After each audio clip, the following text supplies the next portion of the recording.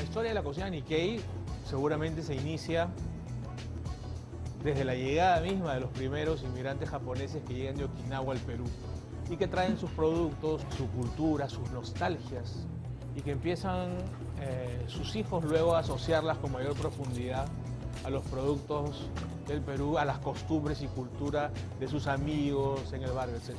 H es un ejemplo de eso y Jaime ha estado desarrollando durante mucho tiempo una propuesta que, eh, obedece a sus sentimientos, a su corazón, pero sin duda a la herencia que él lleva en la sangre. Cuéntanos el, el corazón de H. Lo que queremos ofrecer es cariño ¿no? al, al cliente y el cariño lo, lo, lo mostramos a través de, de lo, que estamos, lo que vamos a preparar. Nos hemos preocupado en que cada, cada porción tenga un poco de nuestro, de nuestra, de nuestro corazón. ¿no? ¿Y en qué se que te- diferencia un restaurante japonés Ujú. de H? La diferencia radica en que nosotros hacemos toques de, de fusión. Tenemos las técnicas japonesas, pero con toques este, peruanos. ¿Eso es quinoa? Eso es quinoa. Lo o sea está que hay un uso de ingredientes peruanos es. que normalmente no se usan en la cocina japonesa. Así es.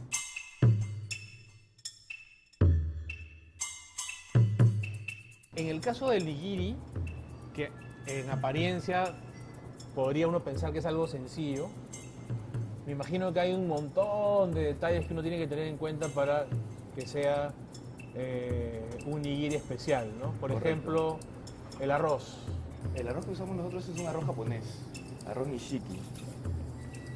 La diferencia de, de otros arroces es que lo lavamos y cocinamos con agua desmineralizada. Lo que pasa que al desmineralizar el, el agua hace que, el, que el, el vinagre se sienta mucho más, sea más agradable. ¿Y el usa- vinagre?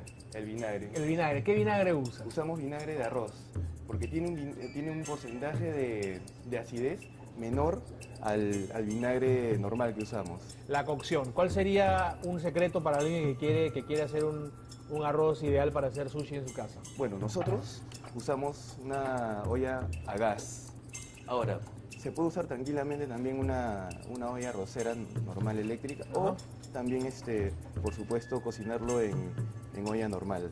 Pero la diferencia radica en que cuando utilizas una olla más grande, eh, permites que el, que el arroz pueda inflar más, pueda cocinarse de manera más, más pareja, ¿no? a, a utilizar una olla más, más pequeña.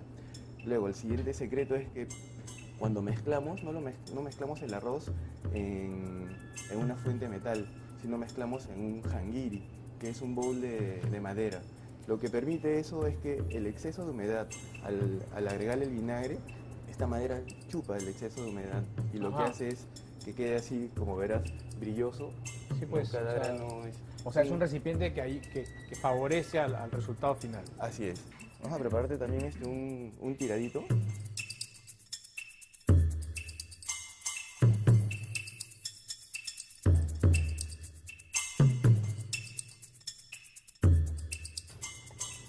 El color tradicional del ají amarillo se nota ahí sutilmente, ¿no? Sí. Claro, y entonces cuando muerdes la hojita de culantro, Explota. explota. Este maqui le llamamos no roll.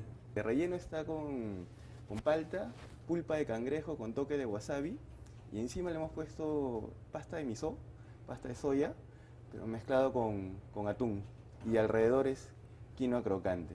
Por ejemplo, cuando un Nikkei probó el, el no roll, dijo, oye, esto, esto me recuerda a, Japón, me dijo, porque en realidad, como decía, ¿no? la parte de encima que es el, el miso con el atún, en la zona de, de Okinawa, allá mezclan el, el miso con cerdo y lo ponen en unas bolitas de, de arroz. Entonces lo que yo quería hacer era transmitir esa, esa sensación, ¿no? digamos, ese, ese recuerdo.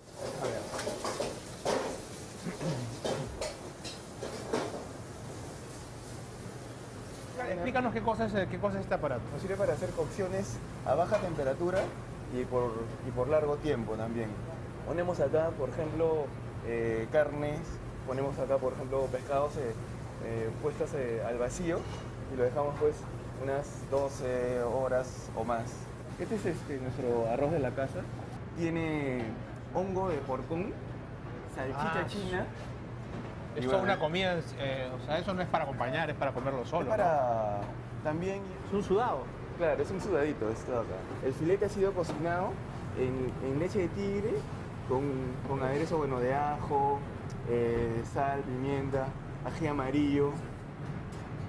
Es Terminamos con, Bonito, bonito. terminamos con katsubushi, el bonito, con el bonito seco rallado. Este es nuestro plato que le hemos puesto blue beef. ¿Por qué blue beef? Tiene la salsa es a base de blue cheese con teriyaki. Lo que acompaña es una tierrita de, de chulpi con cacao también. Y bueno, un poquito de, eh, de verduras baby. Y esta es nuestra Ah. propuesta de nuestro ceviche acá en H. Le hemos puesto ceviche de cítricos. Esto de acá es espuma de kion. Lo que tienes abajo es pepino y el borde tiene ralladura de naranja. Yo lo he probado y es del- ese plato es delicioso.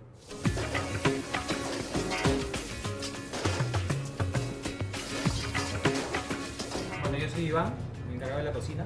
Mi nombre es Tania, soy mexicana. Estoy encargada de los fríos y apoyo en pastelería. Yo soy Andrea y estoy encargada de la pastelería. Miguel. Ay, soy Iván. Eh, yo soy Sandro Medrano, estoy encargado de la parte también de sushi con Miguel. Y bueno, yo soy encargado de hacer la gente feliz con los cócteles. Eh, estamos haciendo lo que se llaman los sparkling cocktails, ¿no? que son cócteles que le agregamos este, burbujas. Huele riquísimo. ¿eh? Con ese hielito Ah. te puedes tomar dos, tres cócteles y sigue intacto el hielito.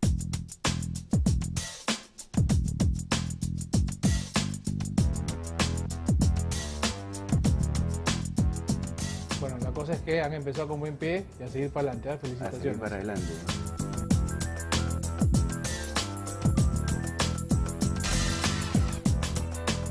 Yo prefiero, digamos, que me llame el cliente, acercarme, preguntarle cómo se siente, ¿no? o, qué, le provoca entre pescado o carne y de poder armarle un, menú especial para, para ellos.